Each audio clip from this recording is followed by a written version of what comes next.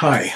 I read a novel by Ladislav Ladislav Klima. He is a Czech author, and the novel is called The Sufferings of Prince Sternenhoch. I borrowed the book from the Link Plus library, and I took a lot of notes. And I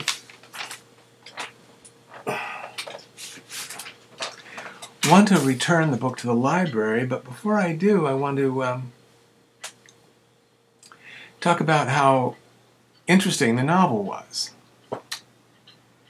Um,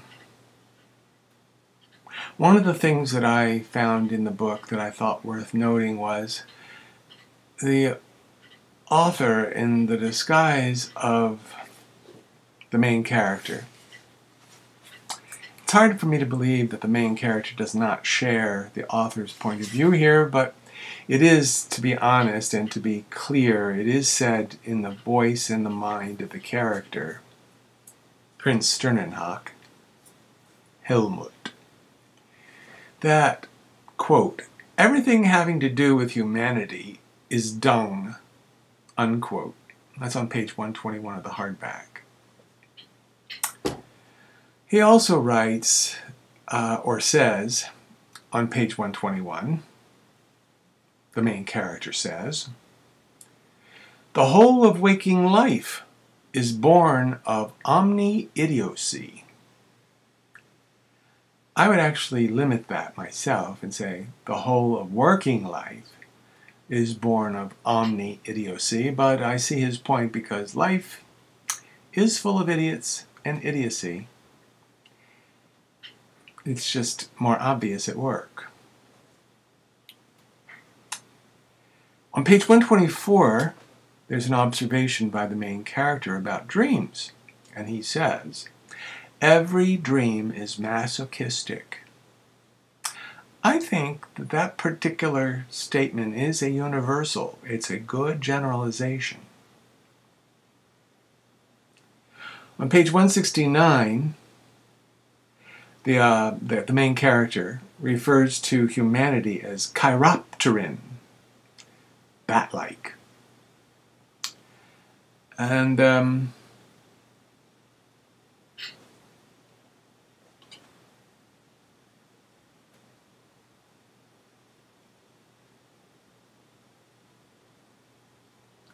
Yes, on page 165, there's a kind of sexual reference where uh, the main character is talking about his having the hots for uh, his own wife, but who is now a ghostly demon who is a hellcat from hell.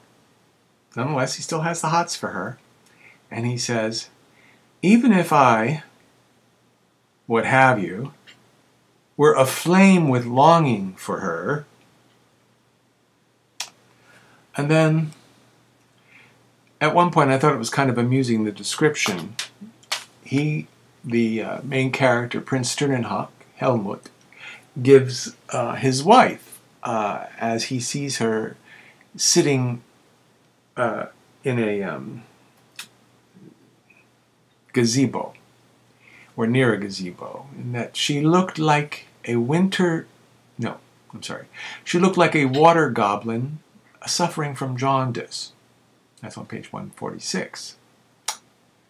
And then, equally amusing, I thought, in a you know black humorous way, on page 150 he says to his wife, the ghost, "I killed you once, girl. What's to prevent me from killing you again?" Um, I like this sentence. Uh, it's by Prince um, Sternenhoch in his diary. I am as clear sighted as a somnambulist. Um, on page 171, he refers to um, something being muddled and transcendentally lucid at the same time. Muddled and transcendentally lucid. Uh, I think that's kind of a contradiction speak for his ability to see multiple levels from dream to reality, and then reality as a dream to lucidity through the dream about reality. Uh, it's both muddled and transcendental. Uh,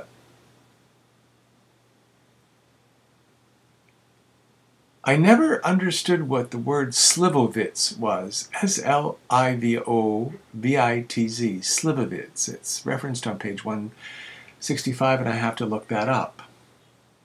And, um, well, I think I pretty much said everything I wanted to say from my notes. Um, there is um, on page 113 there's a passage i thought was just beautifully written not for its lyricism although it is lyric but for its simplicity because it is it is simple like only a czech writer can write in terms of childlike simplicity. Seven in the morning my bedroom windows are open. The broad garden spread out beneath them Outside, all is radiance and festivity and laughter. Although it is early in both the morning and the spring, an almost summery wind comes streaming toward me from the outdoors, and the laughing sun, low until now, burns warmly.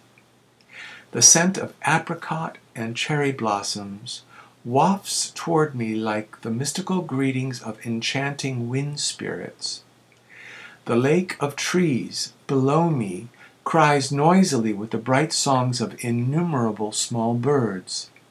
The little clouds in the sky smile down upon me. How gladly I would fly up to you, my silver golden little doves, and travel through the timeless blue wilderness on your little backs.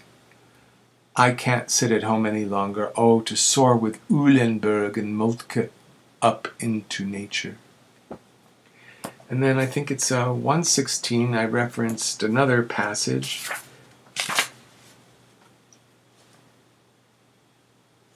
I think it's just the language here that I thought was interesting. Uh, it says, um, well, I'll tell you all about it, only I must be careful not to, not to jump over the box of matches there, or better said, not to get my ideas mixed up. You know, it seems to me that I'm going to I'm going a little crazy, but that will pass, won't it? Everything passes. Even a goat's got to kick the bucket sometime. And just so you know, she would not have come if I had shouted you know what in time. You know what is a reference to up my arse or jump up my arse. It was his magical phrase to ward off his ghostly wife's appearance or reappearance. But if you had seen her in those men's clothes, a short coat, tight fitting, thin green trousers, hot damn, you should have seen that tummy of hers and her rear end beneath them. I thought that was very modern. That's incredibly contemporary language there. Um, so, and then Have these um, notebook notes.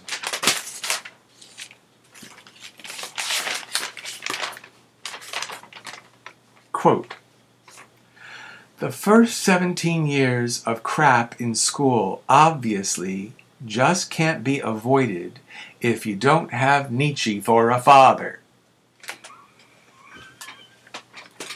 That's on page 192, not of the novel, but of this book, which contains not only the novel The Sufferings of Prince Sternenhoch, but Ladislav Klima's autobiography, starting on page 183. And he's talking about his childhood and his adolescence and going to school the first 17 years of crap in school obviously just can't be avoided if you don't have Nietzsche for a father. He hated school. Um,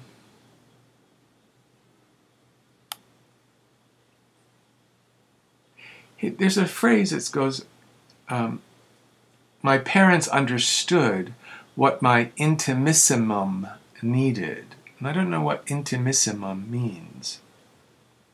He refers to his best friend, his very best friend, his drinking buddy, long term, long, hard drinking buddy, as by the name of Franz Bohler, B O H L E R. He also had a friend named Dr. Dvorak or Dvorak. And uh, there was someone who's called Matthew the Honest. Don't know who these people are. Wish I did. He also has a phrase in the autobiography where it's a quote from Nietzsche, and it's, it's supposedly famous, but I don't understand the German. It says, Ich bin immer am Abgrund. Ich bin immer am Abgrund. Don't know what that means. He also uses a Latin phrase called sui accionis. O C C I S I O N I S. Accisiones. Sui accisiones. Don't know what it means. Um, and he also says, as the Pesus says, P E C U S. Pecus, Pesus, P E C U S. As the Pesus says, I don't know what that is, a Pesus. He uses a German phrase called Umwertungen der Werte, which I don't know. Uh, Umwertungen der Werte. U M W E R T U N G E N. um Umwertungen der, D E R, Werte. D, uh, W E R T E. And in the autobiography, he talks about him being himself being a um, raw foods kind of guy, not quite a vegetarian, because he would eat mice. Yes, mice, bones, fur, and all. And he just said this at one point because he's bragging about how healthy he was before he died of tuberculosis.